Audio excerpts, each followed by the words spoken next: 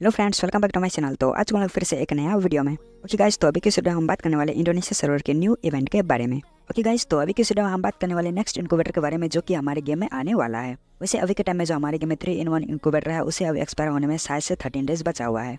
और उसके बाद जाके हमारे गेम में देखने को मिलेगा एक दूसरा इनक्यूबेटर और उसमें कौन सा इनक्यूबेटर होने वाला है, इसका तो वोटिंग इंस्टाग्राम पे चल ही रहा है, जैसा कि आप लोग देख ही चुके होंगे। तो गाइज़ यहाँ पे चार इनक्यूबेटर का वोटिंग चल रहा है। तो गाइज़ इनमें से तो कोई एक ही इनक्यूबेटर आने वाला है। तो गाइज़ यहाँ पे जो है वोटिंग में यहाँ पे सबसे ज़्यादा वोटिंग अभी के टाइम में मिल रहा है डैनो बंडल को। जैसा कि गाइज़ आप लोग यहाँ पे देख सकते हो डैनो का अभी 43 परसेंटेज चल रहा है। बाकी इसके अला, इसके अलावा है गैलेक्सी ट्रोपर उसके बाद गेसा और ब्लैक विडो का तो बहुत ही लो है। मतलब कि गाइज़ नेक्स्ट हमारे गेम में जो इनक्यूबेटर आने वाला वो होने वाला है डायनो बंडल वैसे गाइस अभी के टाइम में तो थ्री इन वन इनकोवेटर चल रहा है तो क्या आगे भी हमें थ्री इन वन इनकोवेटर ही देखने को मिलेगा?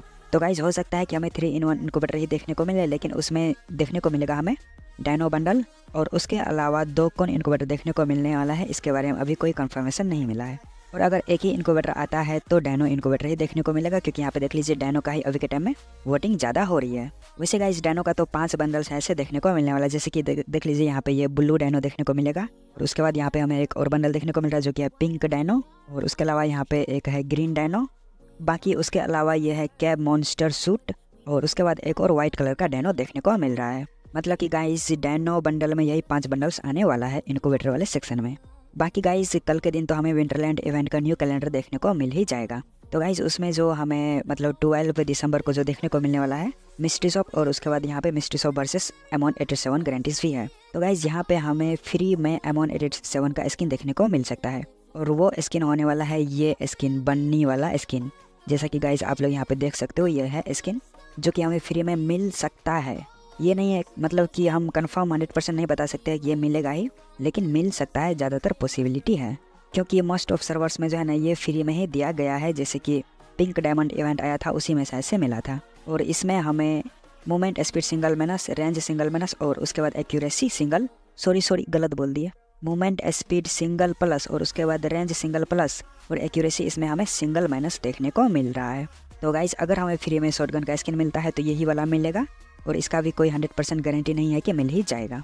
उसके बाद गाइज़ जब कल के दिन हमारे गेम ये विंटरलैंड इवेंट का कैलेंडर आएगा तो उसमें तो हमें ये सारे रिवार्ड्स देखने को मिलेगा जो कि अभी यहाँ पे हमें कैलेंडर में देखने को मिल रहा है। लेकिन इसके अलावा भी और भी बहुत सारे रिवार्ड्स है जो कि विंटरलैंड इवेंट में हमें मिलने वाला है। लेकिन वो सब पेड इवेंट होने वाला मतलब कि उस सब, उन सबको निकालने के लिए हमें डायमंड वेस्ट करने होंगे।